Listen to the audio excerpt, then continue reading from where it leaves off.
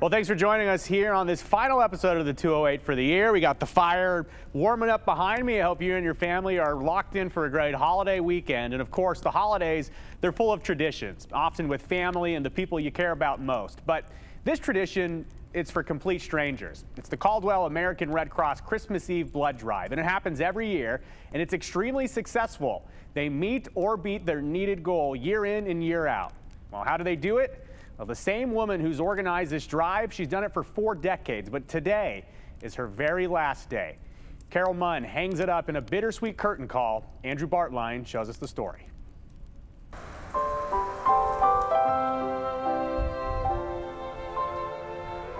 We measure a city by the number of people it holds. We lived and worked in Chicago and I worked at St. Francis Hospital there. That was a big city. But behind these doors, Absolutely, they all know me. Carole only counts the number of people helped. Is your mom coming in? Oh, there she is. The Caldwell Christmas Eve Blood Drive. It's a local American Red Cross staple, held together for four decades. It was the end of the earth for me. By a woman who never imagined calling Canyon County home. I was from big cities and I just didn't know if I was going to survive. Carole thrived 55 years as a volunteer for the American Red Cross, one more day to go. This is my swan song today. Is it? Yeah, That's right. awesome. 300 drives in total, marking 30,000 units of blood. The drive may as well be named after her. I'm sure it's called the Carole Drive. She makes a Merry Christmas for us. And that friendship keeps Lillian Pierce Hey, girl. Such nice words you said. coming back for 40 years. they had called me to, to give a blood in Nampa, but I chose to come here because I knew it was Carole's last day. Decades of memories spread through the room.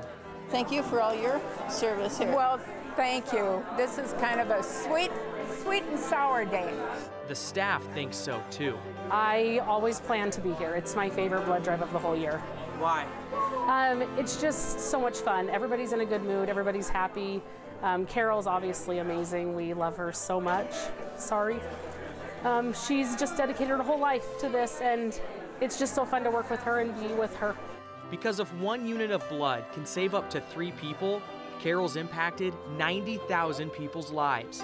Which, to think about that, that's amazing. I mean, that's the entire city of Nampa. It's not Chicago. Time flies when you're having fun. I can't believe it's been 55 years. But Carole knows she's right at home. People are wonderful. It's just wonderful. I just love to come and see everyone has a smile on their face and those that are able to donate. And of course, all the many, many patients that are being helped. Carole says her only regret is that her husband, Monty, was not there to share this with him today. He passed away a few years back. And while we really focused on the people of this, Joe, there were so many logistical things that Carole was involved with as well that she hammered out. No, there were no schedules at first. When she started 55 years ago, you're just pulling people in from the street. She really started setting up those appointments, keeping people coming back time and time again, and just a multitude of different things she hammered out. You saw people eating lunch there at one point. Hmm. She serves a full lunch so people get their appointments with their friends so they can all come and share that together to have a meal and to go donate blood. She was very smart about making this a community event, and that led to a lot of its success. And it's also difficult to really quantify how much she's given to the community because over the last 40 years, there has been years where blood was very badly needed in our communities. I mean, as recently as a few years ago during COVID. So it's not just even the day of. Her ability to get people, you know, motivated to help is really, I mean, it keeps giving and giving. Yeah, and there was an official there on behalf of the Red Cross, and he's like, you, you can't replace people in general. You just find someone who can fill that role and do the job. And he's like, well, you definitely can't replace Carole. So the American Red Cross has a cutout for him to find the next person to Caldwell to get this stuff done. But uh, she did a lot. And the blood drive will continue, of course, into the future. It just, you know, Carole will get to enjoy the day off. Absolutely. All right, Andrew Bartline reporting. Thank you so much, Andrew.